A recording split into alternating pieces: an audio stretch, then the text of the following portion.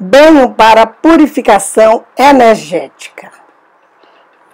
Quando o nosso corpo se encontra carregado de energia negativa, nossos pensamentos e atitudes ficam influenciados por essa vibração. Há pessoas que ficam tanto tempo sobre essa influência negativa que até se esquecem de ser como realmente são, apagam a sua essência, ao menor sinal de que a energia do mal olhado, da inveja, do ciúme, do desrespeito, do ódio está afetando sua vida, é preciso fazer um descarrego. Para isso, o manjericão é uma planta que atua diretamente na áurea da pessoa, proporcionando a sensação de leveza e tranquilidade. Traz a clareza de pensamentos para que você consiga limpar sua mente de pensamentos negativos e obsessivos e seja você mesmo. O sal grosso é o mais poderoso elemento de purificação energética da natureza. Ele limpa toda a energia excessiva presente em seu corpo.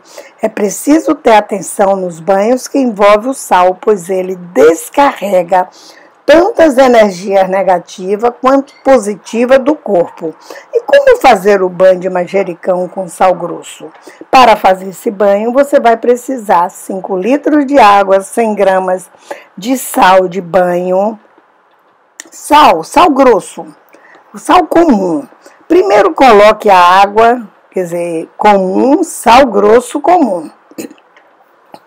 Primeiro coloque a água para esquentar quando ela começar a levantar as primeiras bolhas, desligue o fogo, não deixe ferver. Apague o fogo, jogue o manjericão, abafe o recipiente e deixe em imersão por 10 minutos. Desculpe.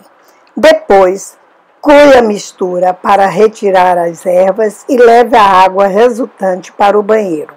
Tome seu banho de higiene normal, tentando manter-se calmo, relaxando e preparando o seu corpo para o banho descarrego e calma que virá a seguir. Alternar, ao terminar, vire a água com sal e manjericão do pescoço para baixo, visualizando a libertação da energia negativa e a atração dos benefícios do banho. Não jogue esta água na cabeça, pois ela possui sal e banhos com sal não devem ser jogados na cabeça só da nuca para baixo.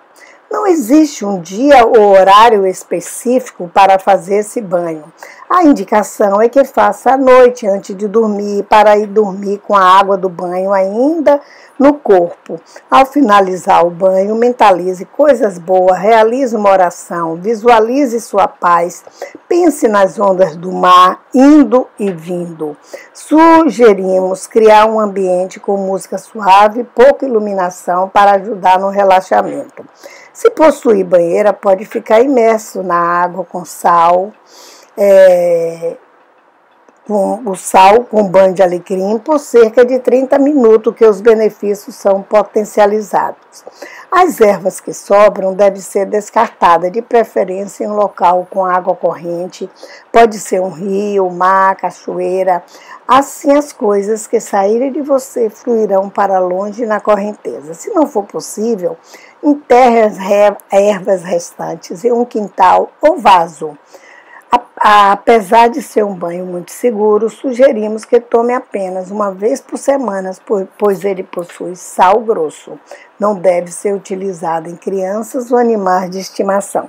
Se vocês gostaram de conhecer este banho de purificação energética de manjericão com sal grosso, vocês dão um like e se inscrevam no canal. Ele é muito bom e poderoso.